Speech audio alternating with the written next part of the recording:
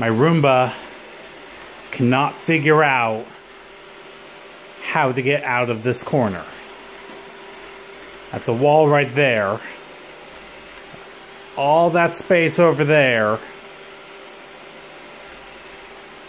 And it can't quite seem to grasp where there's a wall and where there isn't. It's a $300 Roomba.